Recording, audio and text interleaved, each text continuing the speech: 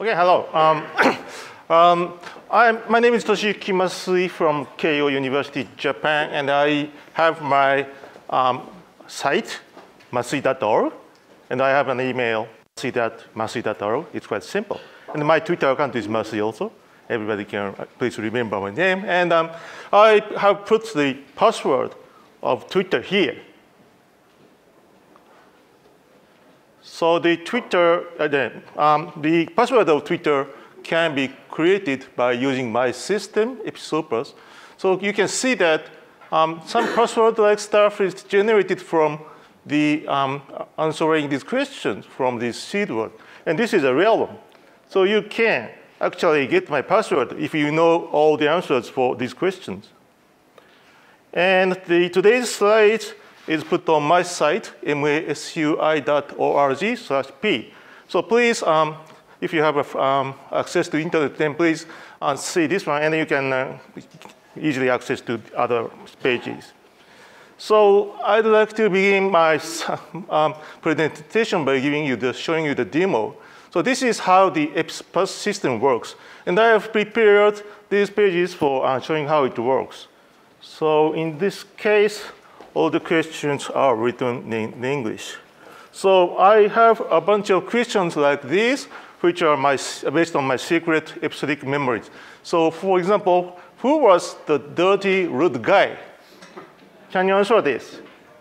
I guess not.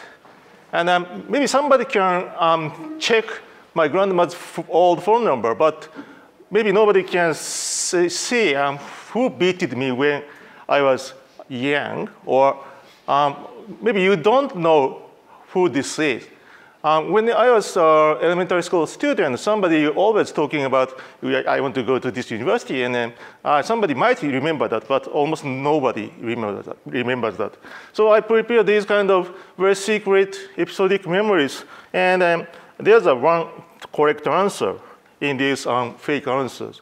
And if I select right ones like this, then this uh, seed string like this is converted to this. So for example, if the seed is like this, and I select something like this, then the password is generated by the selection pattern of these answers. So if um, so apparently this is on the web, so everybody can see it, but nobody knows the right answer. And um, the, uh, maybe I am the only person who knows all the right correct answers. So I am quite confident that nobody can um, correctly um, get my password. Okay, this is the basic idea, and actually that's all. So I can stop the presentation right now, but uh, I will explain a little bit uh, more about this. So um, um, again, the, um, my password is here. That is I am, um, this is my Facebook page, and the password for the Facebook is this one. So there are many questions, and then if you answer all the right questions, then um, you can get my password. Okay. So um, everybody um, here knows that there are tremendous number of password-based uh, services, and they will not die out shortly. So we have to live with passwords. But um, of course, everybody knows the um, problems of passwords, but um, the biggest problem for me for handling passwords is that I cannot remember passwords myself. So I have to use some extra techniques for handling, managing my passwords. By the way, um, because there aren't many Asian people here, so I'd like to um, ask you about um, how Asian people use passwords. Do you know about that? Uh, actually, the answer is that nobody is using uh, Chinese or Japanese characters. They only use alphabetic characters or numbers. So there's no problem about the language differences, okay? But uh, it's actually not very good for people, uh, young people or very old people because uh, small kids don't, can't read alphabet, or old people cannot um, think about um, very complicated alphabet um, character for passwords. So maybe um, that's not a very good case. So um, maybe a Japanese character should be used for IDs and passwords, but currently it is not. So But um, in some applications, um, this kind of Japanese keyboards are available. So maybe for some people, this might be better for uh, entering passwords. For example, uh, using some special names or special secrets. But uh, this kind of things is not um, available. By the way, uh, this is our Japanese text input system for the iPhone. And um, I made it. I was working at Apple for two years, and uh, I, was, I created this um, Japanese text input system for iPhone, and, and tens of thousands of people in Japan are using this one. Uh, anyway, so the fundamental problem of the password system is that um, nobody can um, remember new information. Somebody may be able to remember, but I can't. So that means I cannot remember a new passwords. And um, some people say that there's a way to remember passwords, or if we use some images, then we can remember them. But I, I doubt that. Um, at least I cannot remember new information. Then, um, so um, I really don't believe that passwords, passwords can be remembered. So then the solution should be just um, simple.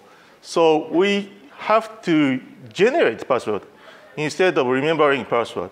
And the generation of password should be done using some, something that we never lose.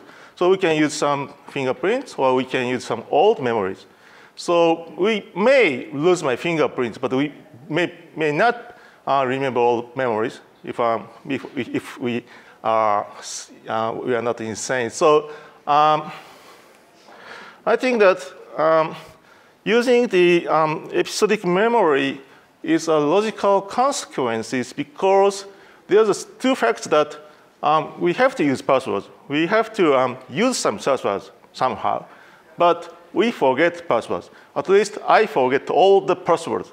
Then the possible solution might be either use some special device or special um, something for remembering passwords, or um, just use something we never forget or we never lose. So, um, so, so the idea of um, came out.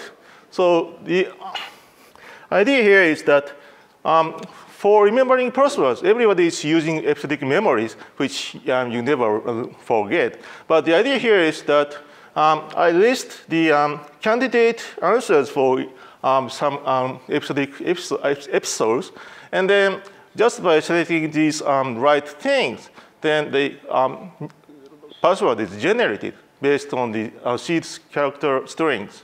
So that's the um, very simple idea, but I think that this works, okay? So um, let's um, see the demonstration uh, again. So um, please, oops, this one. So now I have a lot of um, strange questions like this. Um, what was the number of the grandpa's, phone? Or who beated me when I was young? Or that kind of stuff.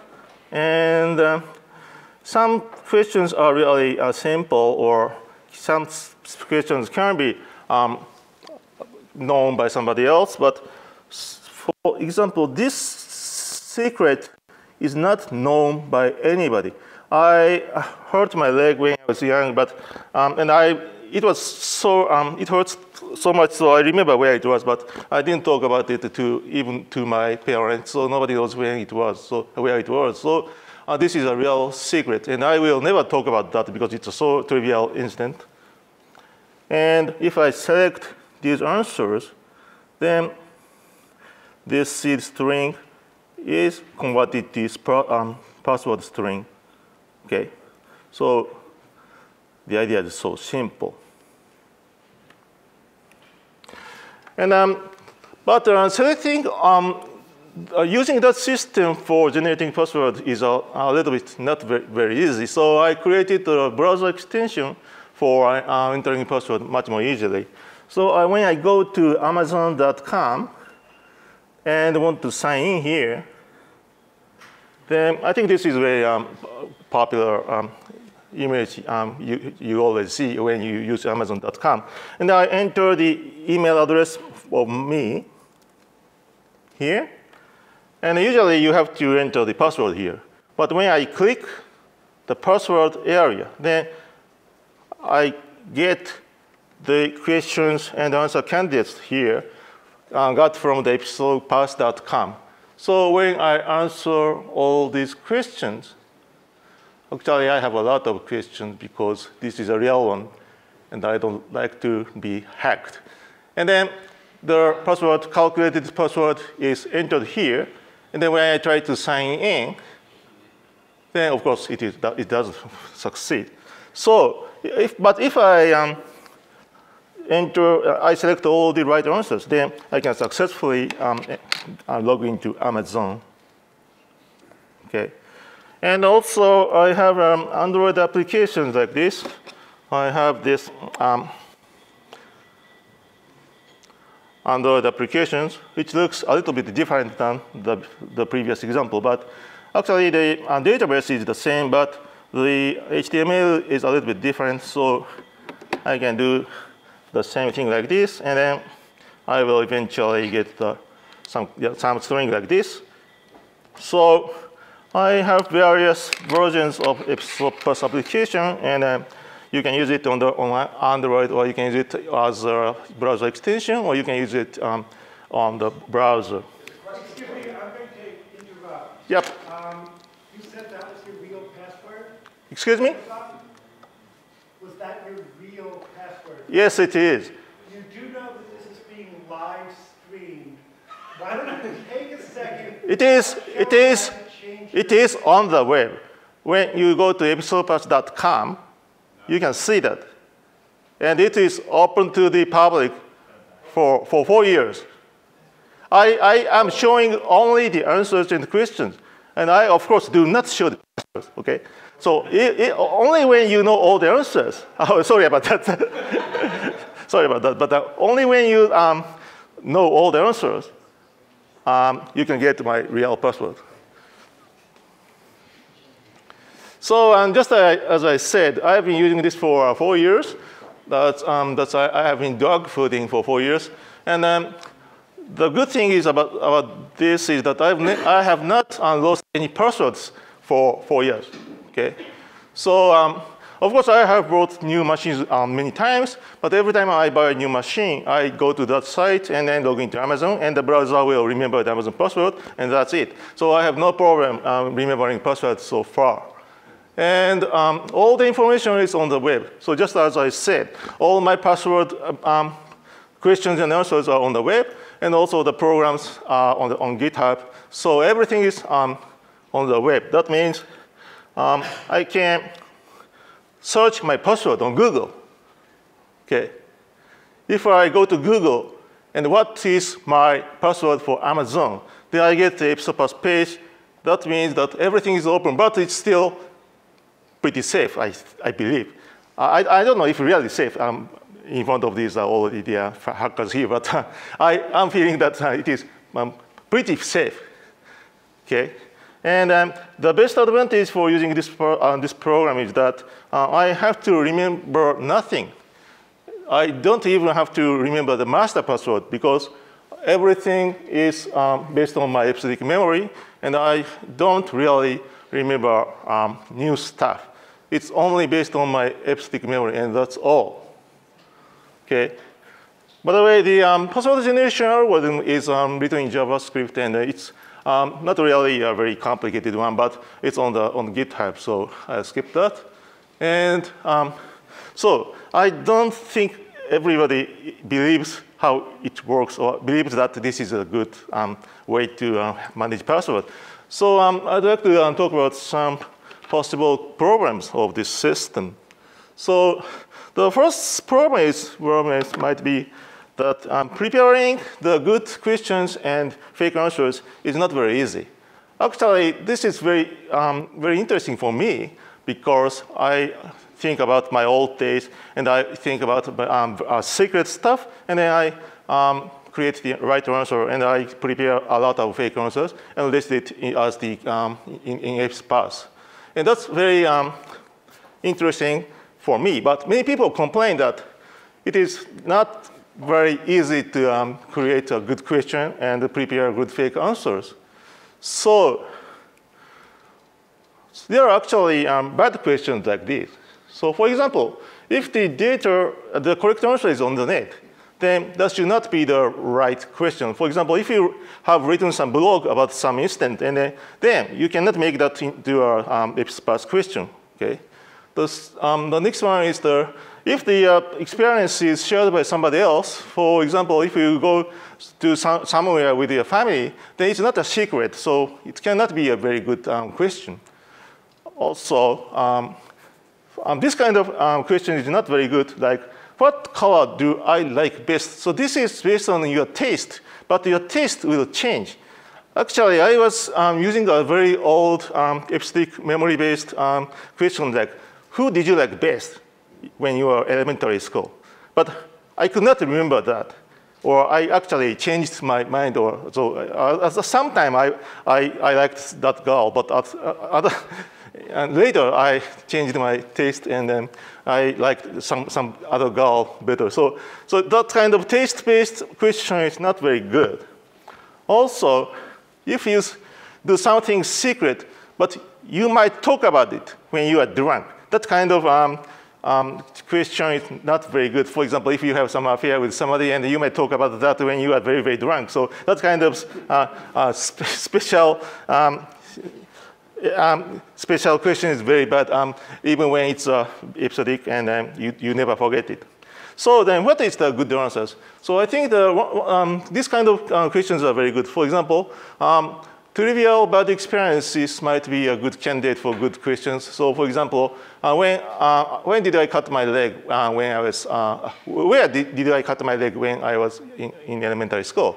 So this is a very, very trivial incident and you will not talk about it uh, when you grew up, but uh, you never forget it because it, um, it was a very good, big experience for me. But um, so this kind of um, experience can be a good question. Or, uh, but the experience like, who hit me when I was six? Maybe you don't want to remember that, but you never talk about that. So that might be a good question. So another candidate might be um, uh, when you stole something, maybe you don't talk about it to somebody else. Then that might be a um, good um, EpisoPass question. Of course, it's not a good memory, but uh, you can use it for a very secret question. Or, um, so uh, this kind of uh, actually not very good, but um, unforgettable instance might be good questions for this system. And um, the answer, I think, should be uh, proper noun names of lo locations because you can create very easily the fake answers. For example, if the right answer is um, Frankfurt, um, then, then you can create a lot of prepare a lot of fake answers like Bonn, Köln, Essen, Koblenz, or whatever. Or if the answer is Bill, then you can prepare um, fake answers like Steve, Edward, or whatever. So um, creating a fake answer is very easy. Difficult part is um, finding a nice question, but that's not um, super difficult, okay? So another problem of the system might be it's very easy to attack the system because every, everything is open. But uh, if um, you prepare uh, plenty number of answers and questions, maybe um, it's not very easy to attack it even when it's offline. And online attacking is not, I think, possible because the um, service like Amazon will reject um, a lot of uh, requests from the from browsers. Okay, and uh, another um, possible attacks might be asking a lot of people about that question. So actually, the questions like this is um, based on a lot of experience for example, um, example uh, my experience when I was high school student or um, uh, ex experience when I was an elementary school student or very recent um, things is also included. But, but uh, the, um, you have, if you ask all of my um, friends about these questions, some people might be able to answer one of them. Then it might be possible to um, get the right answers if you ask everybody I know. Actually, some of the um, um, questions are only quite secret to me, so um, it's not possible to um, get all the right answers. Also, nobody will try to do that just to um, get my password, um, Facebook password. So, and the problem I said is that creating a good question is uh, difficult, but so I'm thinking about um, creating a support tool for creating good questions. So um, the, the reason why people have difficulty um, write, um, creating good questions is that they, are, they believe that they forget everything, um, all the old things. But if I say, some, I say something like, did you have a strange strange friend when you are in elementary school, then he will remember something, and then he can make it as a special secret question. So there's a way to interview the people, the user, to create a good question. So I'm thinking about how we can create such uh, support tools for EpisoPass. And the other problem of using this system is that so we have to um, answer all these um, 10 or 20 questions until before I get the right um, password. So it takes time. That's true. But usually, the browsers will remember passwords for, of Amazon or Twitter or, or, that kind of systems. And even when you log into some remote system, um, once you can log into some, some remote Unix machine, then you can use your um, um, uh, SSH data for logging into there again. So you have to use EpisoPass only once. So you can even use a very complicated passwords for remote Unix system. So um, for my four-year experience, um, I actually don't use EpisoPass very often. Uh, I, I use EpisoPass only when I um, switch to other machine or I go, I go to some place where I, I've never been. So uh, actually, it is not, it seems to be a big problem, but actually it is not. Um, worst problem might be that the password leaks. So if somehow your um, password is known by somebody else, for example, if um, somebody knows my Amazon account, a Facebook account, and then you can check all these um, selection so that you can get the right password. This can be calculated by brute force. So that's a problem.